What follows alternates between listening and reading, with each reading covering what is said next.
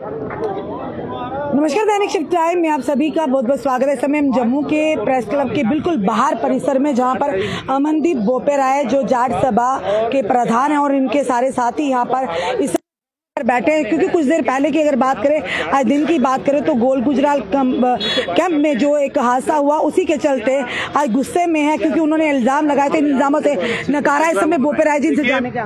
वहाँ पर कुछ इशू हुआ था। हमारे लड़के वहाँ से रैली निकाल रहे थे। अब रोड से रैली निकलती है। तो वहाँ पर हमने ऑलरेडी अप्रीहेंशन थी क्योंकि ऑलरेडी मैं आपको लाइव बता दूँगा कि ये मेरा व्हाट्सअप है। आप इस पर जो है पिन किए हुए हैं मैंने।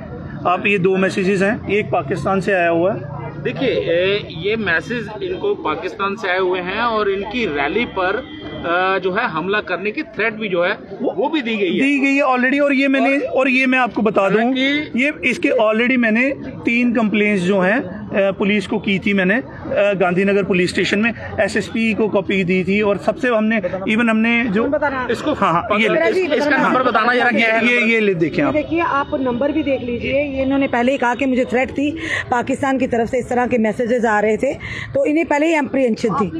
तो अप्रीहेंशन थी तो फिर आप एफ़ आई आर भी दर्ज है। उस इलाके से क्यों नहीं नहीं देखिए एक देखिए जो हमारे मड़ के भाई थे वो रूट वही था उनका। अच्छा। जो मड़ से आ रहे थे हमारी हमारी रैली का रूट नहीं था। जो हमारी मेन रैली थी वो जो आपने कवर की है वो रैली जो है चौथे तभी पुल से निकली थी और वो जाके मीरा साहब में खत्म होनी थी जो अभी हमने निकाली है। हालाँकि जो मड़ से लोग आ रहे थे इकट्ठे उनको जो है वहाँ गोल गुजराल कैंप में रोका गया। और आप देखिए, अब रैली जा रही है, उसको रोकने का कोई तुक नहीं बनता, लड़के खुद नहीं रुके हैं। लेकिन वहाँ पर क्या होता है कि लड़कों की कोई बहसबाजी होती है और वहाँ पर जो है, बीस बंदे हमने, हमारे जो वहाँ लड़के हैं, उन्होंने बताया, बीस बंदे लाठी डंडे लेके आए हैं। देखिए, अगर प्लांट नहीं होगा कुछ तो ऑन द स्पॉट हथियार नहीं होते। हालाँकि हम बोल सकते थे कि हमारे पास होते, लेकिन हमारे पास वहाँ नहीं थे कुछ हथियार। वहाँ, जब मेरे को यहाँ पता लगा तो मैंने सिचुएशन सोची कि चलिए कंट्रोल करते हैं। मैं यहाँ से चार बंदे लेके गया हूँ। एक हमारे कर्नल सुशील चौधरी हैं रिटायर्ड वो गए हैं। और दो एडवोकेट थे हमारे भाई, वो गए हैं। हमने चार बंदे हम गाड़ी में बैठे हैं। लेकिन वहाँ पर जो क्योंकि मैं नहीं चाहता था कि सिचुएशन कोई एंगल ले, क्योंकि हमारा दो ढाई हज़ार लड़का यहाँ खड़ा था। जिसको आक्रोश आ गया था। तो मैंने कहा सिचुएशन को हम जो है टेंस नहीं करेंगे, मैं वहाँ गया हूँ बात करने के लिए। आपके पास वीडियो होगी, अगर नहीं है तो हम प्रोवाइड करवा देंगे। जैसे ही मैं पहुँचा हूँ वहाँ पर तो वहाँ पर कुछ दो चार अनासर तत्व थे। पहले वहाँ की जो जो थे, उन्होंने कहा, ठीक है, हम बात करेंगे।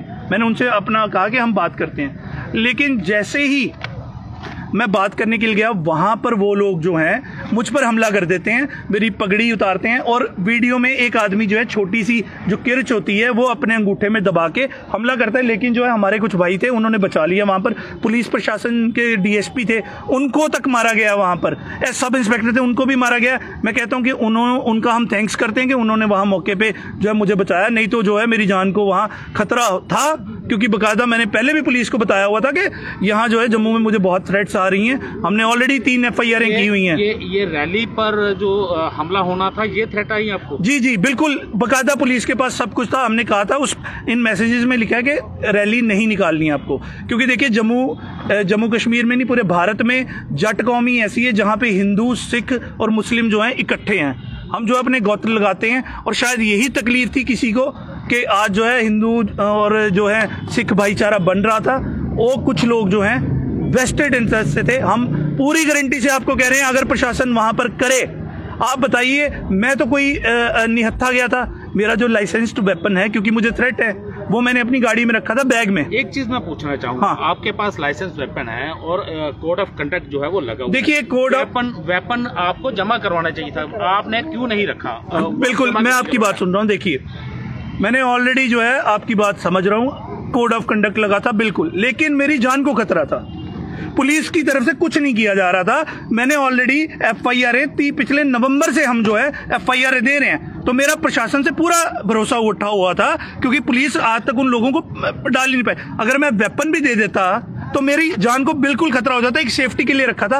उस वेपन को आप बताएँ, जो वेपन बताया जा रहा है, वो गाड़ी के अंदर एक बैग में सिक्योर था। कोई निकाला नहीं गया कोई फायर नहीं किया गया कुछ नहीं एक गाड़ी के अंदर अपनी सेफ्टी के लिए रखा था ताकि इन केस कुछ हो जाए। ये जो थ्रेट आपको आई है पाकिस्तान से जी। ये किसी संस्था से आई है या जो आतंकवादी गुट है तरफ़ से देखिए जो पहली थी उन्होंने कहा था कि वो हिजबुल मुजाहिदीन के साथ लिंक है। एक जम्मू का किसी कोई गैंगस्टर है जो पीएसए में अंदर है उसकी तरफ़ से थ्रेट थी उसके सपोर्टर्स की तरफ़ से थ्रेट थी, थी कि रैली ना निकाली जाए। तो हमने ये ऑलरेडी पुलिस को बताया हुआ था और बाकायदा आप बताएँ फिर क्यों सरकार बोलती है कि रैलियों का जो हमें बताया जाए हमने 26 अ, अ, जन माफ़ कीजिए मार्च को जो है ऑलरेडी पुलिस को जो है डीसी साहब को एप्लीकेशन दी हुई है कि रैली है। और ये पुलिस को पता है सब कुछ पता है। हमारे लड़कों को रोका गया। आप देखिए कि पुलिस ने यहाँ पे लड़के यहाँ पे जहाँ हमारा मेन रैली थी जहाँ डेढ़ दो हज़ार लड़का था वहाँ पुलिस ने जैसे लड़के बाहर आने लगे वहाँ पुलिस ने गाड़ियाँ लगा दी लेकिन उस स्पॉट पे जहाँ हमला हो रहा था वहाँ पे पुलिस के आदमी नहीं थे। लेकिन वहाँ के लोगों का ये कहना है कि आपकी गाड़ियों के अंदर हथियार थे तलवारें थी और शराब की बोतलें जो थी वो पड़ी हुई कह थी। रहे हैं कि बरामद हुई हैं आपकी देखिए मेरी बात सुने। गाड़ी में अगर किसी की शराब की बोतल हो तो पी तो नहीं रहा था पहली बात। एक कर लेते हैं आप इसका मतलब मान रहे नहीं हैं नहीं कि की शराब बोतलें थी एक भी आदमी नहीं था हम नहीं मान रहे वो बोतलें कहाँ- वो कह रहे हैं कि वो कह रहे हैं जी गाड़ियां बाहर वो कह रहे हैं बाहर वो कह रहे हैं बाहर पचास बोतलें पड़ी थी उनका मैंने स्टेटमेंट सुना उन्होंने कहा जी जहां से रैली निकल रही थी वहां ਉਹ ਜਿਹੜੀ ਅਹ, ਉਹ ਹੈ ਨਾ ਜਿਹੜੀ ਸ਼ਰਾਬ ਦੀ ਬੋਤਲ ਆ ਉਹ ਡਰਾਈਵਿੰਗ ਸੀਟ ਹੈ ਨਾ ਜਿਹੜੀ ਡਰਾਈਵਰ ਦੇ ਸੀਟ ਦੇ ਉਹਦੇ ਪੈਰਾਂ ਵਿੱਚ ਮੈਟ ਦੇ ਉੱਤੇ ਆ ਡਰਾਈਵਰ ਕਿਤੇ ਵੀ ਆਪਣੇ ਪੈਰਾਂ ਦੇ ਵਿੱਚ ਬੋਤਲਾਂ ਦੋ ਰੱਖ ਕੇ ਕਿਤੇ ਡਰਾਈਵ ਨਹੀਂ ਕਰ ਸਕਦਾ अब देखिए खाली बोतल खाली और साथ में जैसे वो बोल रहे हैं ना कि किसी के द्वारा नहीं नहीं नहीं बिल्कुल। वहाँ रोड पे देखिए वो कह रहे हैं हम हम उनकी बात से एग्री करते हैं। रोड पे रोड पे एक मिनट रोड पे बकायदा एक एक मिनट मेरी बात सुने। रोड पे बकायदा बोतलें थी हम भी मानते हैं। लेकिन वो लोकल लोगों की होंगी ना। हम रैली निकाल के लेके जा रहे हैं। आप सोचे हम पचास बोतलें सड़कों पर डाल देंगे। वहाँ वहाँ से जो रैली थी मेन रैली भी नहीं थी। क्या जी साजिश है बिल्कुल साजिश है। हम ऑलरेडी कह रहे हैं ये साजिश है। ये जम्मू में माहौल खराब करने की कोशिश थी। अगर युवा जट सभा का प्रधान अगर मैं नहीं होता तो इसको हिंदू सिख इशू बनाया जाता। और वो लोग जो हैं, जिन्होंने ये हमले किए हैं, वो बकायदा जो हैं, क्रिमिनल लोग हैं। तो आप अब यहाँ पर बैठे हुए हैं प्रेस क्लब हम आप- आप- आप देखिए, हमारी गाड़ियाँ तोड़ दी गई कब तक कब तक नहीं जब तक जो है प्रशासन की तरफ़ से कोई जो है कार्रवाई नहीं होती हमें आश्वासन नहीं दिया की कार्रवाई? किस तरह की कार्रवाई चाहते हम चाहते हैं वो लोग आइडेंटिफाई किए जाएँ उन पे जो है कानूनी धाराएँ लगाई जाए पीएसए में अंदर हो और आइडेंटिफाई किया जाए कि जम्मू का माहौल कौन लोग खराब करने की कोशिश कर रहे थे। देखिए हमारी रैली वहाँ से निकल रही थी 20 लोगों ने डंडे कहाँ से लेके आए हथियार कहाँ से लेके आए? आप आप कह रहे हैं हम कह सकते हैं हमारे पास हथियार होते। एक तलवार निकली है भीग प्रधान में आप वीडियो देख सकते हैं। मैंने तलवार पकड़ी थी लेकिन जब मैं उनसे बात करने गया वो मैंने गाड़ी में अंदर रखी थी। मेरा जो वेपन था वो भी बैक सीट पे रखा हुआ है। कोई वेपन नहीं निकाला मैं निहत्था गया हूँ चार बंदों के साथ बात करने लेकिन मुझ पर हमला हुआ है। ये बता रहा है उन लोगों की एप्रीहेंशन आप मेरा वो नंबर बताएँ जो पाकिस्तान से आपके पास पहुँच जी ये ये देखिए दो नंबर है मैं आपको बता देता हूँ। ये दोनों ही नंबर मैंने पिन किए हुए हैं। एक एक मिनट मैं आपको बता देता हूँ। ये व्हाट्सएप पे है मैं कोई कम्प्लेन लेकर कंप्लेन करवाइए बकायदा नवंबर से कंप्लेन है एफ़ आई आर पचास हुई भी है लेकिन कोई कार्रवाई नहीं हुई। है इस समय आप देख रहे हैं अमनदीप सिंह बोपेराय जो यहाँ पर बैठे हैं, जाट सभा के प्रधान है। जो सुबह एक दुर्भाग्यपूर्ण हादसा हुआ इंसिडेंट हुआ, गोल गुजराल का, उसी को लेकर ये बैठे हैं, क्योंकि वहाँ पर जो स्थानीय लोग थे, उन्होंने इल्ज़ाम लगाया कि ये हल्लड़, हुल्लाबाजी, हुल्लड़बाजी कर रहे हैं, हमें मना किया तो इन्होंने हमला किया। अब ये इल्ज़ाम लगा रहे कि उन लोगों ने, वहाँ के लोगों ने हम पर हमला किया, लगभग 20 लोग थे। फ़िलहाल ये मैटर ऑफ़ इन्वेस्टिगेशन रहेगा, क्योंकि वो लोग भी कह रहे थे, जो हमने लाइव में बताया था गाड़ी में शराब की बोतलें पड़ी हो किसने लाई किसने नहीं इसकी हम पुष्टि नहीं करते ना हम कहेंगे ना हम पुलिस है ना हम जज है पर हाँ वहाँ के लोगों ने जो कहा वो भी हमने आपके सामने अब ये जो कह रहे हैं ये भी आपके सामने ला, लाया हम। अब ये पुलिस है जाँच करेगी जाँच में क्या निकल कर आएगा ये आने वाला समय बताएगा। वो भी कह रहे हैं कि मांग होनी चाहिए कार्रवाई हो रही होनी चाहिए जिन लोगों ने वहाँ पर माहौल खराब करने की कोशिश की और ये भी कह रहे हैं कि हम पर हमला किया गया तो उस पर भी कार्रवाई हो उन पर भी शिकंजा कसा जाए।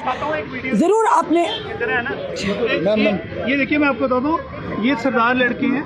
ये ये देखिए हमारे लड़कों की चाबियाँ निकाल रहे हैं बाइकों पे। चलते चलते गाड़ियों से चाबियाँ निकाली गई ये हमला नहीं है क्या? ये लोग कहाँ से आ गए थे गाड़ियों पे? ये आप देख रहे हैं? ये देखिए ये देखिए हमारे लड़के जा रहे हैं। चाबी खोली गई है। चाबियाँ छीनी गई हैं हमारी गाड़ियों की। वहाँ से ट्रैक्टरों को तोड़ा गया ये एक साजिश है हमला है। और रोक रोक के हमारी गाड़ियों से चाबियाँ निकाली चलिए देखते हैं प्रशासन किस तरह से इन पर कार्रवाई करता है, क्योंकि वो जो दिखाया था, वो कह रहे थे वो सच है। ये कह रहे हैं, या ये सच है, कौन सच्चा, कौन झूठा, ये तो प्रशासनिक अधिकारी या पुलिस के आला अधिकारी जब जाँच करेंगे, वेरिफिकेशन होगी, उसके बाद ही पता चलेगा कौन सही है, कौन गलत है, किसने शुरुआत की थी, माहौल को खराब करने के लिए आने वाला समय बताएगा। फ़िलहाल आपने कमेंट अपने सुझाव हमें दीजिएगा। इस वीडियो को जितना हो सके शेयर कीजिए। जुड़े रहिए हमारे साथ अगले अपडेट के लिए। जय हिंद, जय भारत।